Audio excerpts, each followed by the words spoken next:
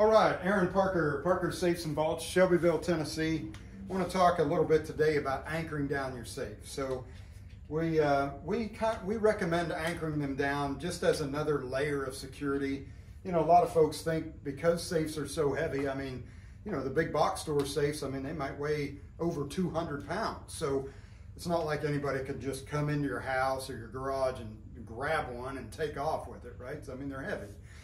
Um, but we do as we do recommend it as like another layer of security. And, and remember that, you know, when you're trying to protect your valuables, really it's layers of security that um, that are the way to go, right? So if you have, for example, like, you know, keep your shrubs trimmed up, and then at night you have good exterior lighting, you've got good uh, rapport with your neighbors, where you guys, you know, kind of have like maybe a mutual neighborhood watch, so to speak, or a real neighborhood watch.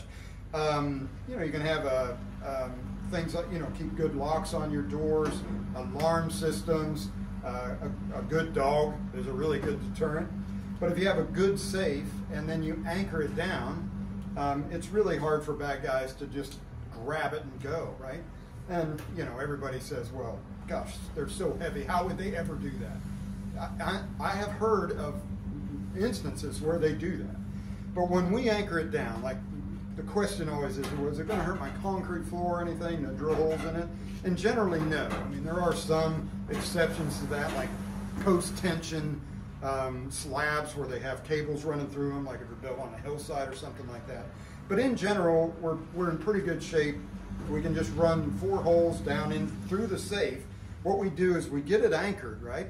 So we get it anchored and we use these little composite shims. So these are like um, composite material, the same kind of stuff your deck, your Trex decking is made out of. So we get to safe plumbing level, and then we just take a big hammer drill in and just drill right down through the pre-drilled holes in the safe, and then we run uh, concrete anchors in. And there's a number of different types of these, right? So there's the concrete anchors that are like a wedge anchor, and as you tighten it up, it expands.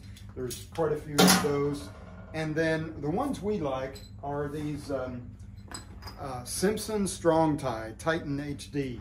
And um, uh, we've been using those for years.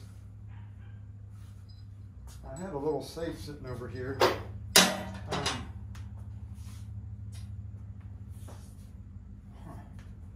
anyway, uh,